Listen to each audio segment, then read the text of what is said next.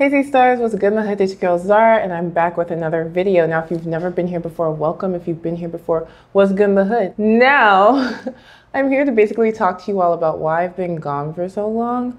I know I've uploaded some videos sporadically, but it really hasn't been enough and your girl's just been doing a lot of things and we're going to get into that right away. But of course, before we do, please be sure to comment down below. Let me know what types of videos you want to see now that I'm back. Give this video one big thumbs up. It really helps my engagement and the YouTube algorithm. Be sure to share with your friends and your loved ones. And last but never ever least, subscribe to my channel and turn on your notifications so you know every time I post a new video.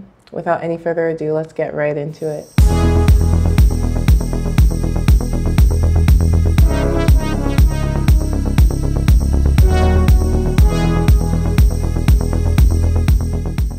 If you're not already, be sure to follow me on Instagram at EfikZara, E-F-I-K-Z-A-R-A. I post a lot of my photography there and of course behind the scenes on how I get my iconic imagery. Be sure to also follow me on Twitter at EfikZara so you can chat to me and ask me all the questions your heart desires. I try to answer my DMs as much as possible and any tweets I reply to, so that's the best place to reach me. So y'all, hey, I'm glad to be back. As you can see, things are a bit different. I have this new neon sign.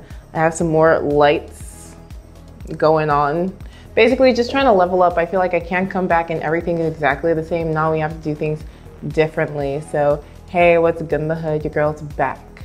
Now, I know I've been gone for a while, but I really just needed to take a break from this platform. Now, of course, you all know what happened last year with, how are we gonna say this so I don't get demonetized? Novid Kintine. And that pretty much took the world by complete surprise. Now, in this country, the insert choice word here was not as challenging to deal with as it was in some other environments because, to be fair, I'm living fairly comfortably, right?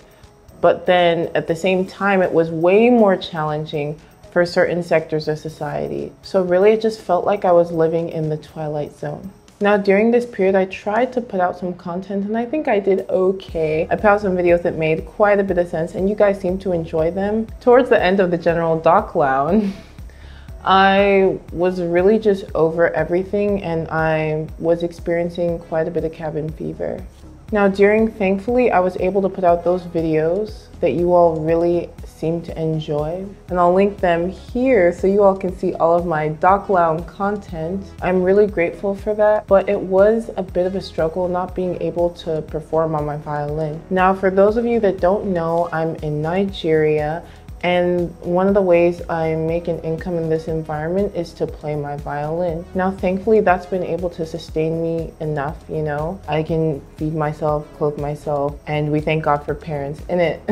but not having that source of income was really jarring and I ultimately had to rely on my US sources of income to survive. You know what I mean? So it was a bit weird and it taught me a lot of lessons about budgeting and having enough for the rainy day, so to speak. Now, as much as I enjoyed being alone and creating certain types of content, I also struggled with feelings of inadequacy. Now, for those of you that don't know, on my Instagram, which is linked, of course, in the top here, I actually don't follow anyone but myself and myself. And the reason I've chosen to do that is because I really don't want my feed to be saturated with visuals of one, people I don't really actually associate with. I also don't want to experience FOMO or start comparing my own trajectory to anyone else's. Now, if you all want an in-depth video about my decision to unfollow everyone on Instagram, as well as the many fights I got in as a result, please pop some green emojis down below. Now, that short digression aside, even though I was doing a pretty good job of protecting my mental health in that way, I was still exposed to TikTok and that huge rush and a lot of people creating a lot of really brilliant content and becoming stars overnight. Now, while I was not bothered by their success, I was bothered by my lack of action. I felt that, okay, you know what, maybe I'm not doing enough. Am I lazy? Am I unfocused? But then thank God for parents again because they reminded me that unlike a lot of my peers, I do very many things and I do these things well and I'm making an income from all of these things. So of course we have violin, which is literally my profession. That's what I went to school for. Then we have photography and retouching, which is a newer passion, but something I discovered an affinity for um, later in life, obviously, a few years ago. And I'm now making an income from that. Then we also have the fact that I occasionally model for brands and do commercials. I was actually recently in a commercial for this perfume brand, which is again on my Instagram if y'all want to check it out. And then I also still do Instagram, YouTube, and trying to do Twitter. I mean, y'all should follow me on there so we can chat more. Bearing all of that in mind helped me to remain grounded and not be too hard on myself. Now, I hope to only do better, be more organized, put out more content. And I know the steps I need to take in order to do that successfully. And I've been putting those things in place so I can do that. But ultimately, dealing with those emotions towards the end of the doc lounge was a bit of a challenge for me and made my output even more sparse than it had been previously. Then also working on some huge videos for brands. That was another thing that took a lot of my time. Don't worry, things are going to change going forward. They have already changed. You guys are going to see the results of that. So I'm excited to share all of those things with you. Now, following the doc lounge, I, did I already mention this? I'm not sure if I already mentioned this, but I was experiencing quite a bit of cabin fever. So as soon as there was a little bit of freedom, I was pressed to be outside. Now, one of my very good friends and my sister's mentor was actually having these sessions where he would do a live DJing session. And my sister, Gigi Jasmine, aka Nicole, aka Nicola, was actually a participant because she's a really popular DJ. Another frequent participant of that was actually one of Abuja's top hype people. So that actually helped take my mind off of the doc lounge and the struggles during the doc lounge. I was just so relieved and I kind of turned a blind eye to actually being productive in the way of my career path and instead was productive in the way of my mental health. I allowed myself to take a much needed vacation. Now another place I frequented post doc lounge, or not really post doc lounge, but during the easing of certain restrictions was Speakeasy. Speakeasy was our spot during the doc lounge and we went there often at times just to chill out. The DJ Academy was also in session during this period. My sister was an instructor there and I tagged along because I needed the break and I missed driving and just being outside. It was really, really refreshing. And I'm so grateful for the people that made that period really, really special for me. I needed that break.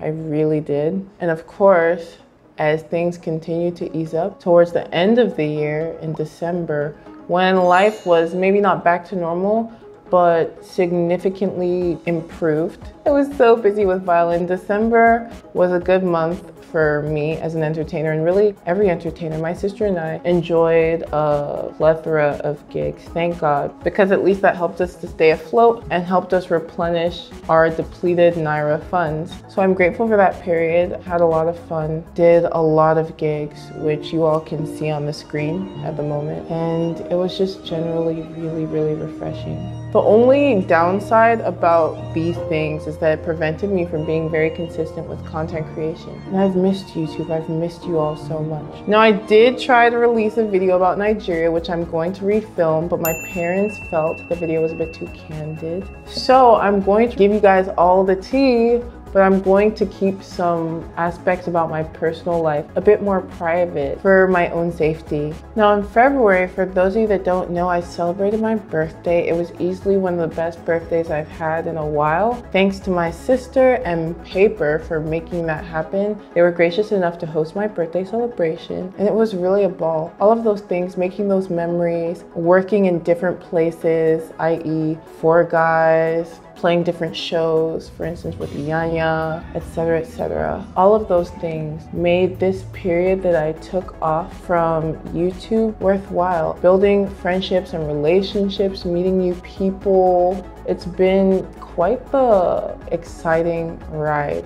Now, the only thing I regret is not sharing these things with you all. I wish that I had been more on top of providing you with content of me living my life. But at the same token, I had to be sure footed in my life in order to feel like I could give you guys the best of me and the best of this experience. It's been beautiful. And I intend to take you guys on this journey with me much more. I'm so sorry I haven't. And if you all would love to see that, if you guys would actually enjoy vlogs from me, please drop some pink emojis down below. But ultimately, one thing that this break has helped me to do is to preserve my mental wellness.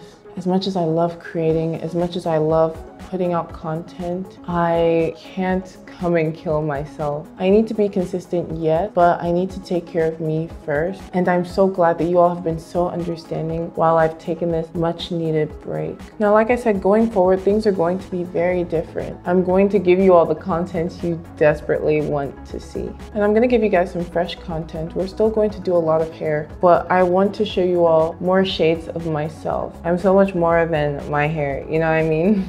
As much as I love my hair, as much as my hair loves me, I want to be able to express to you all exactly who I am. Now, I know I've already asked you guys, but please share with me exactly what you want to see from me. Let me know what it is that would enrich your life or make you feel more connected to who I am. I sincerely want to know because I want to provide you with that kind of content.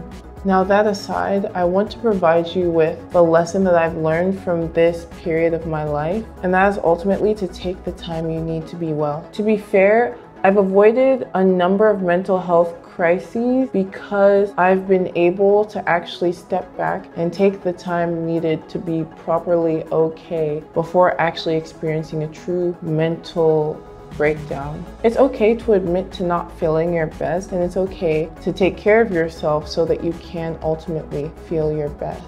I'm a huge proponent of seeking help and seeking the right help and then also seeking help on time. I don't have any stigmas or qualms when it comes to mental health. Heck, I'm even looking for a therapist. If you guys know any good phone ones, let your girl know. I think the same way we take care of our bodies is the same way we should endeavor to take care of our minds. And even if there's nothing wrong, you should make sure that your mind is in peak condition. And sometimes all that takes is talking to someone. Sometimes all it takes is taking a break. Sometimes all it takes is stopping an activity that's causing you harm. So listen to your mind, listen to your body, and do what's best for you. I'm really grateful for this period because it's allowed me to get a lot of things in order and be the best version of myself so that you guys can enjoy every good thing I have to offer. So with all of that being said, I'm very, very ready to give you guys more brilliant content. and show you guys a lot more of my life. Thank you so much for watching. Please, again, don't forget to comment. Comment what you're doing today. Anything really, just engage with me. Thumbs up, which is super important. Both of those things are extremely important. Share this with your friends and your loved ones, even if it's just your Facebook page. And last but never ever least, please subscribe to my channel and turn your notifications on so you know every time I post a new video.